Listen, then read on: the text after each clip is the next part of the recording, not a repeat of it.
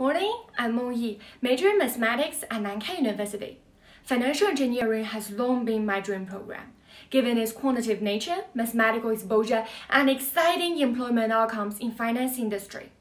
My undergraduate education background offers me fundamental mathematical and statistical knowledge. With solid math foundation, I realize quantitative analysis, by its nature, has better explanatory power of complicated finance instruments than its traditional quantitative counterpart does. Although I admire the accuracy and rigor of my profession, I enjoy the diversity of life.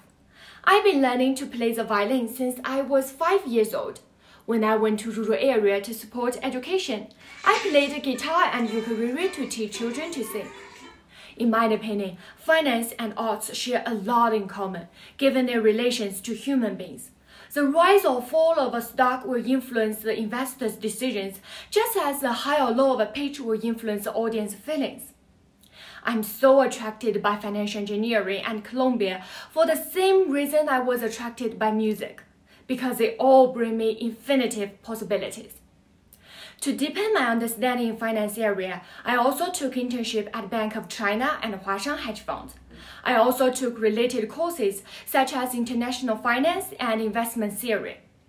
I believe a rigorous Masters of Financial Engineering program like yours will definitely support me to be able to achieve my career goal in the future.